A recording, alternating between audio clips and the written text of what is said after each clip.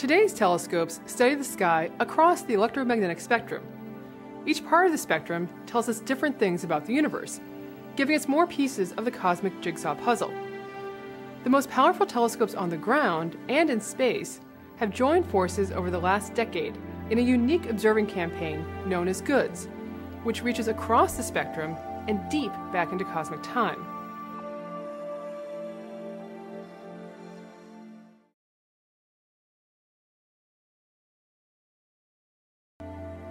Hello and welcome to this very special multicast. We'll be exploring a unique collaboration between some of the world's most powerful telescopes, both on the ground and in space. Now to do this, we've set up a similar collaboration between the ESOcast, the Hubblecast, the Spitzer Space Telescope's Hidden Universe, and the Chandra X-ray Observatory's Beautiful Universe. I'm Megan Watzke for the Beautiful Universe from the Chandra X-ray Center. And I'm Dr. Robert Hurt for the Hidden Universe from NASA Spitzer Science Center. It's the combination of deep observations from many different telescopes that makes this project so important. The longer a telescope spends looking at a target, the more sensitive the observations become, and the deeper we can look into space. But to get the full picture of what's happening in the universe, astronomers also need observations at a range of different wavelengths, requiring different telescopes. These are the key ideas behind the Great Observatory's Origins Deep Survey, or GOODS for short. The GOODS project unites the world's most advanced observatories. These include ESO's Very Large Telescope, the NASA ESA Hubble Space Telescope, the Spitzer Space Telescope, the Chandra X-ray Observatory, and many more, each making extremely deep observations of the distant universe across the electromagnetic spectrum. By combining their powers and observing the same piece of sky, the GOODS observatories are giving us a unique view of the formation and evolution of galaxies across cosmic time, and mapping the history of the expansion of the universe.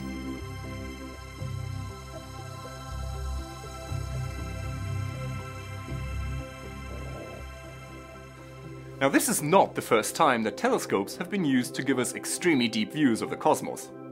For example, the Hubble Deep Field is a very deep image of a small region of sky in the northern constellation of Ursa Major. This revealed thousands of distant galaxies, despite the fact that the whole field is actually only a tiny speck of sky.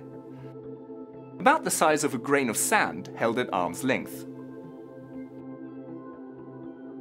Now, with GOODS, Many different observatories have brought their powers to bear on two larger targets, one centered on the original Hubble Deep Field in the northern sky, and one centered on a different deep target, the Chandra Deep Field South in the southern sky. The main GOODS fields are each 30 times larger than the Hubble Deep Field, and additional observations cover an area the size of the full moon.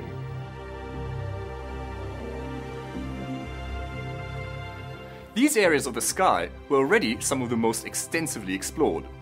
And so the combination of the existing archival data with the many new dedicated observations gives us an unprecedented view of the history of galaxies.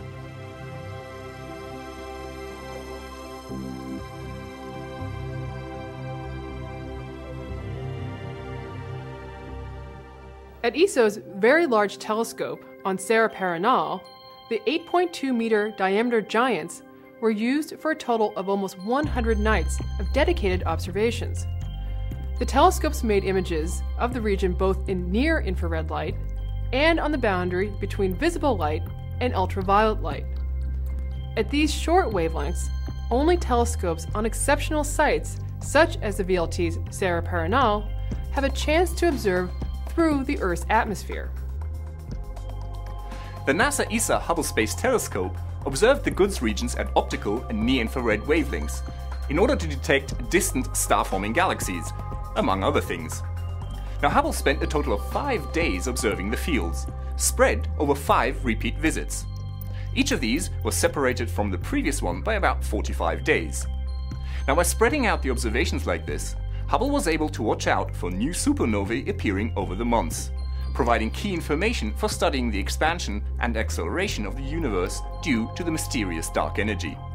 But it wasn't just Hubble making space based observations for GOODS. NASA's Spitzer Space Telescope imaged the GOODS regions in near and mid infrared light for five days at wavelengths up to 30 times longer than the Hubble observations. These longer wavelengths are important for revealing distant galaxies whose light may be obscured by cosmic dust or stretched by the expansion of the universe, making them invisible to Hubble. For these distant galaxies, the Spitzer images also tell astronomers about their age and their total mass of stars, complementary information to the data from Hubble. Now, let's move from the infrared to much shorter wavelengths. Also in orbit, the Chandra X-ray Observatory had already observed the Goods field in many long observations taken over the course of a year. The Chandra images are the deepest X-ray images ever taken and detected more than 200 X-ray sources believed to be supermassive black holes in the centers of young galaxies. The X-rays are produced by extremely hot interstellar gases falling into the black holes. These multi-wavelength observations identified tens of thousands of galaxies. To get a full understanding of the history and development of galaxies over the vast stretch of the universe's history, we need to be able to pin down their distances more precisely, to fix them in cosmic time. As these galaxies are so far away, the light waves we see from them today started their journey up to about 13 billion years ago. And because the universe has been expanding since the Big Bang, back then the universe was less than one seventh of its current size. During the billions of years of the light's journey, its wavelength has been stretched as the fabric of space has expanded. This effect is known as redshift because, for example, light that was originally blue or ultraviolet in color is shifted to longer and redder wavelengths. Back on the ground, astronomers used spectrographs on ESO's Very Large Telescope to capture the spectra of galaxies, spreading out their light like the colors of a rainbow. Now the spectra allow astronomers to measure the redshifts of the galaxies and hence their distances. An extensive campaign produced redshifts for almost 3,000 galaxies in the Goods fields. Now with this knowledge, we can place the galaxies at their distances along a vast cone of space, stretching out from our own vantage point like a searchlight beam into the cosmos. We can take an amazing journey through kind of a tunnel towards the edge of the universe.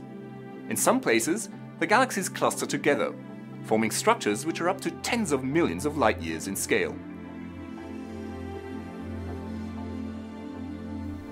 Thanks to GOODS and other surveys of the same region, these areas of the sky are uniquely well studied, with high resolution, deep observations across a wide wavelength range.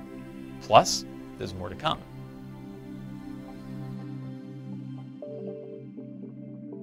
For example, the Atacama Pathfinder Experiment Telescope, or APEX, has spent a total of 300 hours, nearly two full weeks, imaging the region at submillimeter wavelengths, from its high site on the 5,000 meter altitude plateau of Chajnantor in the Chilean Andes.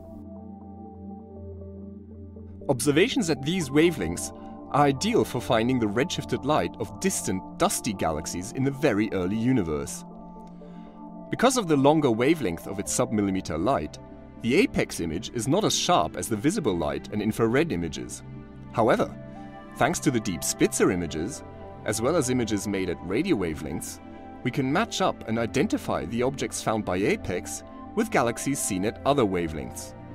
The submillimeter light glow reveals that hundreds of stars are being formed per year in these galaxies. In the next couple of years, ALMA, the Atacama Large Millimeter Submillimeter Array, currently under construction on the same plateau as APEX, will begin its first science observations.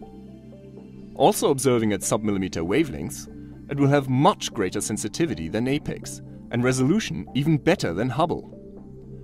ALMA will revolutionize our understanding of the early universe by revealing many more distant, dust obscured galaxies that cannot be seen at all by visible light and infrared telescopes. These projects are an excellent example of how great observatories are joining together across the electromagnetic spectrum to give us a more complete view of galaxies over the history of the universe. Already, astronomers have written over 400 papers based on these data, with even more in the pipeline. And on top of that, the observations of the goods fields will continue in the future. These patches of the sky will be prime targets for the next generation of telescopes, both on the ground and in space. And astronomers around the world will use these data to learn new things about the universe for many years to come. Saying goodbye to our friends at the other observatories, this is Dr. J, signing off for the ESOcast and the Hubblecast. This is Dr. Robert Hurt signing off for the Hidden Universe and the Spitzer Science Center, reminding you there's a hidden universe just waiting to be discovered. And this is Megan Watzke, signing off for the Chandra X ray Observatory and the beautiful universe. Join me again next time for another cosmic adventure, which I'm sure will surprise us beyond our wildest imagination.